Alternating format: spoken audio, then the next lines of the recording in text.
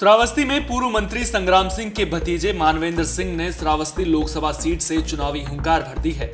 आज सैकड़ों गाड़ियों के काफिले के साथ मानवेंद्र सिंह ने मतदाताओं से संपर्क किया और उनकी समस्याओं से रूबरू हुए। जगह जगह लोगों ने माल्यार्पण कर मानवेंद्र सिंह का स्वागत भी किया। बता दें कि श्रावस्ती लोकसभा सीट से मानवेंद्र सिंह के चुनावी मैदान में उतरने के बाद इस सीट के समीकरण काफ़ी दिलचस्प हो गए हैं। फ़िलहाल श्रावस्ती से बीजेपी के दद्दन मिश्रा सांसद हैं। मीडिया कर्मियों से बातचीत के दौरान मानवेंद्र सिंह ने कहा कि उन्होंने लोगों से मुलाकात कर उनकी समस्याओं के बारे में पूछा जिन्हें दूर करने का प्रयास किया जाएगा। क्या उद्देश्य है इसका? उद्देश्य जनसंपर्क और जन सेवा मैं जानने आया हूँ कि मैं यहाँ पे मेरे पिताजी ताऊ जी सब कोई समाज सेवी रहे और जनता की सेवा करते रहे।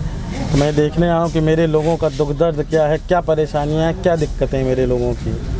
क्या जनप्रतिनिधि के रूप में आपके चाचा समाज की सेवा करते आए हैं?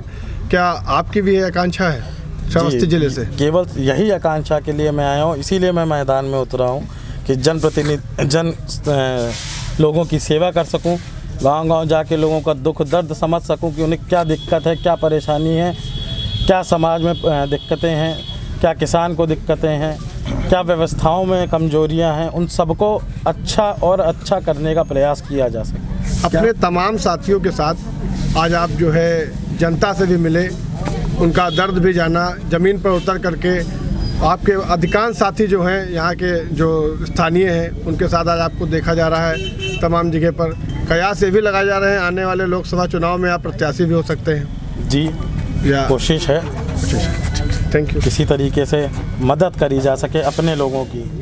पहली कोशिश यही है। मुद्दा क्या योगी सरकार भले ही किसानों को फ़सलों का उचित मूल्य दिलवाने के लिए आदेश जारी कर रही है, लेकिन बाराबंकी के राम स्नेही घाट के भिटरिया विपणन केंद्र में योगी सरकार के आदेश की धज्जियाँ उड़ रही हैं और धान खरीद में धांधली की जा रही है। यह आरोप लगाया है धान की फ़सल बेचने आए किसानों ने। किसानों ने आरोप लगाया है कि विपणन केंद्र पर तैनात अधिकारी ज़्यादातर नदारत रहते हैं, जिसकी वजह से केंद्र दलालों का अड्डा बनकर रह गया है और कमीशन खोरी के चक्कर में लाइन में खड़े किसानों की धान ना खरीद कर बिचौलियों की धान खरीदी जा रही है। और किसानों का धान ट्रैक्टर ट्रॉलियों पर लदा सूख रहा है। किसानों की माने तो वे तहसील दिवस में शिकायत दर्ज करा चुके हैं, लेकिन उसके बावजूद अधिकारियों ने मामले को लेकर लापरवाह रवैया अख्तियार कर रखा है। हालाँकि जब राम सनेही घाट के एसडीएम साहब से मामले को लेकर बात की गई तो वही गुणवत्ता पूर्वक धान खरीद करवाने का आश्वासन देते नज़र आए। इस संबंध में बताया गया है मुझे आपके द्वारा। मैंने बोल दिया है मार्केटिंग इंस्पेक्टर को कि जिस भी व्यक्ति का, जिस भी किसान का धान या ट्रॉली लेके लाइन में लगा हुआ है, उसका प्रत्येक दशा में तौल लिया जाए और किसी भी प्रकार से बीच में किसी भी व्यक्ति को शामिल न किया जाए लाइन से ही सबकी तुलाई हो।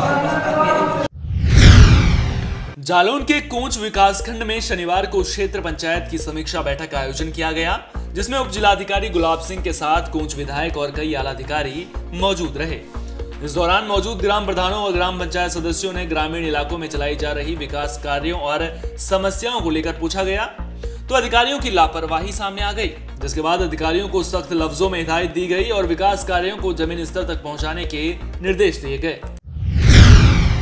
अयोध्या में आज फैजाबाद दिल्ली एक्सप्रेस ट्रेन के उत्कृष्ट कोच सेवा का शुभारंभ किया गया। बता दें कि ट्रेन के डिब्बों को तो नहीं बदला गया, लेकिन नया रंग रोगन करके आकर्षक रूप ज़रूर दिया गया। जिसे बीजेपी सांसद और रेलवे अधिकारियों ने फैजाबाद रेलवे स्टेशन से दिल्ली के लिए हरी झंडी दिखाकर रवाना किया। बता दें कि प्रोजेक्ट उत्कृष्ट के तहत इस पुराने कोच को नया रूप दिया गया है। कोच की दीवारों को खास रंग से बिल्कुल नया बना दिया गया है। वहीं कोच के टॉयलेट की फ्लोरिंग को आधुनिक इपॉक्सी मटेरियल से बनाया गया है। इतना ही नहीं, यात्री अब अंधेरे में भी गाड़ियों का नाम और नंबर पढ़ सकेंगे। आम आदमी को दिल्ली जाने में बड़ी कठिनाई हो रही थी। इसलिए लगातार इसके लिए प्रयास हो रहा था कि इसमें नए कोचेज लगाए जाए। लेकिन नए कोचेज इतनी तेज़ी से निर्माण नहीं हो पा रहे हैं कि एक साथ चार रैक बदल सकें। क्योंकि फैजाबाद दिल्ली जो है, दिल्ली से पद्मावत एक्सप्रेस बन जाती है।